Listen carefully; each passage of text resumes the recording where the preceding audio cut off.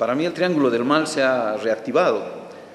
Un Triángulo del Mal que había funcionado durante muchísimos años, muchísimas décadas, desde la fundación misma de la República, y que está conformado por Estados Unidos, por Chile y por nuestra oligarquía, por algunos sectores de la oposición que son de los más conservadores, de los más antipatrias, podríamos decirlo.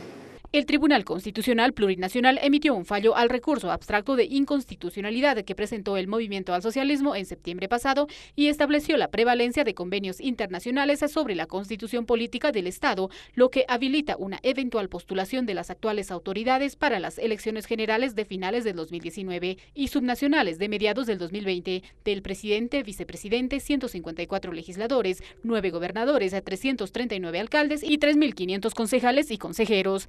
Tanto el Departamento de Estado de Estados Unidos, autoridades chilenas y la oposición boliviana mostraron su descontento.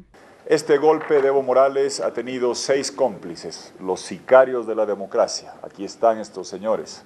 No son doctores, son sicarios. Andrade, Bacarreza, Camacho, Cortés, Flores y Valencia en orden alfabético.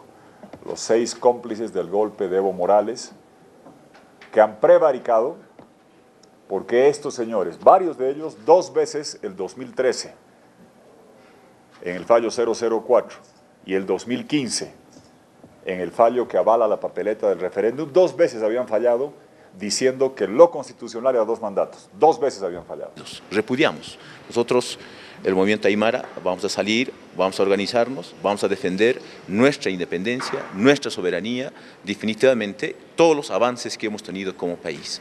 Ya no somos el patio trasero de Estados Unidos como lo consideraba antes los gringos. Ahora somos un país libre, un país independiente, un país soberano.